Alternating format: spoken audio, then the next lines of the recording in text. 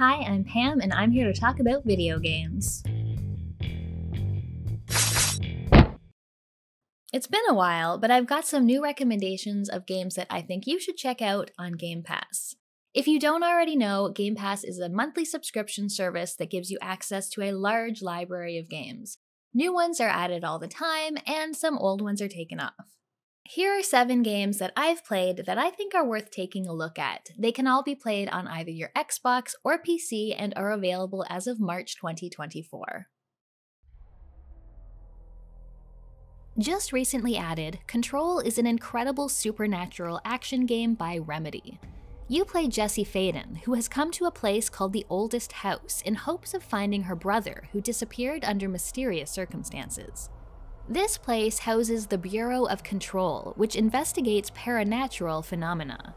This is an incredible location, and it's been taken over by a hostile entity from another dimension called the Hiss. This causes the building to shift and move, changing its structure, while ominous whispers are all around you.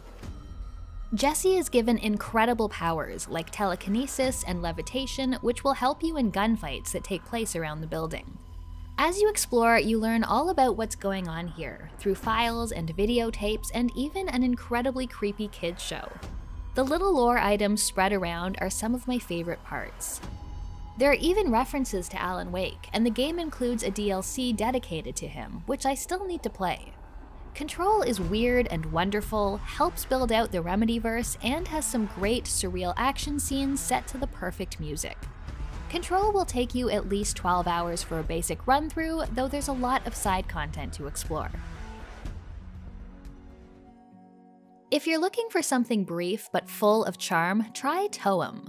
This is a combination of photography, puzzles, and Where's Waldo? You set out on an adventure to photograph the Toem phenomenon.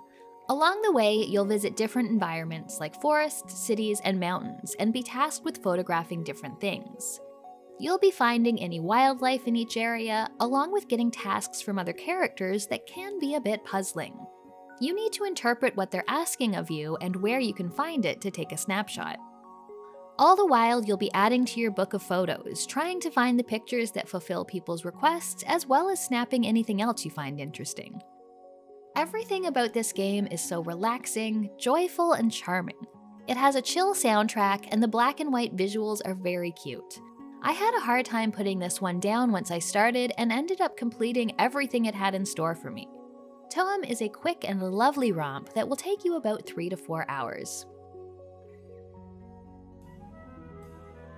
If you're looking for a fun Metroidvania, Bloodstained Ritual of the Night by Artplay is a great one to try.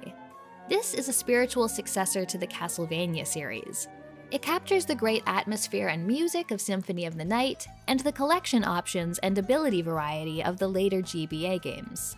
The protagonist Miriam is a shard binder. As she defeats enemies, she can absorb the demonic shards they leave behind, giving her access to a wide range of abilities, like summoning demons and familiars or casting directional spells. You also get a variety of weapons to choose from, the most satisfying thing is exploration and finding everything the game has to offer. Adding each shard to your spellbook feels good, and the map is excellent to explore and systematically fill out.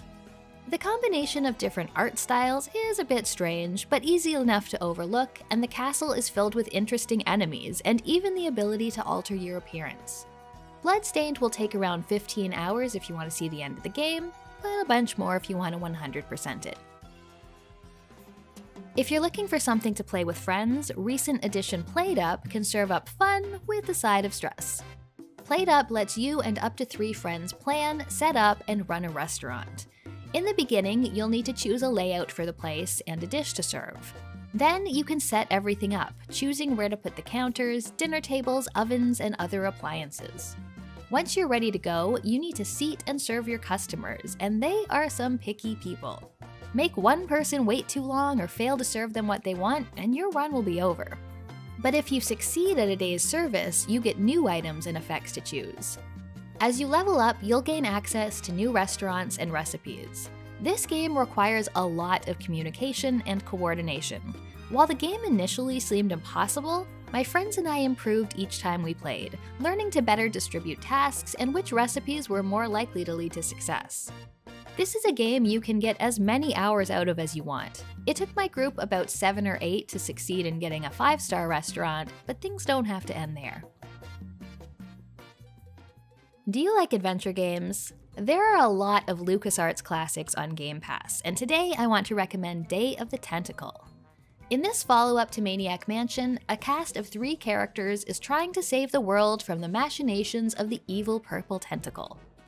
Each of the three protagonists ends up at a different point in time one in the present, one 200 years in the past, and another 200 years in the future after Purple Tentacle has enslaved the world.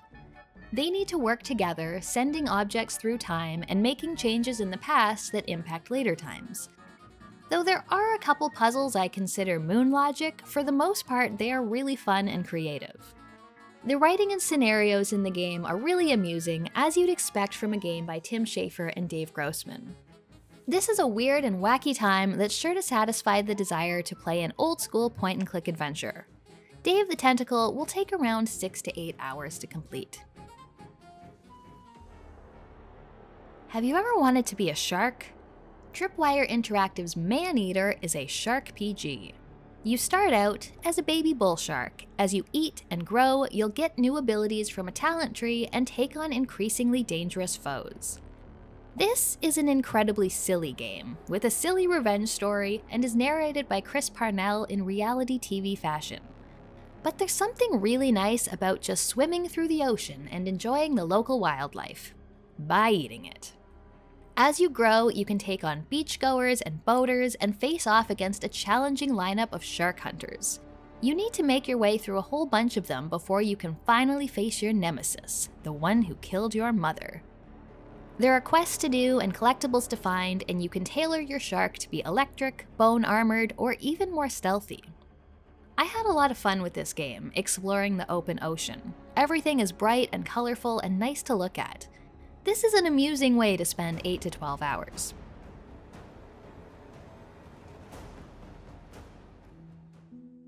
I love rock climbing, and when it's done in game, it's often a strange, frictionless experience. Push the stick up, press A to jump. It's like 2D platforming, except vertical. But Jusant is a game that lets climbing be interesting, and even a bit of a puzzle. It requires thought and planning in order to keep pushing forward. You play an unnamed character, and your goal is to climb an impossibly tall tower. There's some backstory tucked away in notes, but for the most part, you just climb. The control scheme here is really neat, allowing you to choose which handhold to reach for with the left stick and reach for it with the left or right trigger. You can place pitons as you climb, allowing you a kind of checkpoint in case you take a fall. You have to manage your stamina and shake out your forearms when they get pumped. New mechanics are introduced frequently to keep things fresh. A ways in and you'll be able to make plant blooms or hang on to moving critters to help your ascent. Later, you'll have to deal with wind or turn to your little blob companion to impact the environment around you. Along the way, there are secrets to find and many beautiful sights to behold. Jusant is a really lovely game and provides a relaxing, almost meditative experience. It's around 5 hours long. So, those are seven games I think you should check out on Game Pass. There's a selection of great action, puzzles, cooperative coordination, and some relaxing experiences. Hopefully, you found something that interests you here. Until next time. If you want to see more, check out my full review of Bloodstained Ritual of the Night, or another of my videos. I have a Patreon if you want to support the channel. Thanks for watching, and I'll see you next time.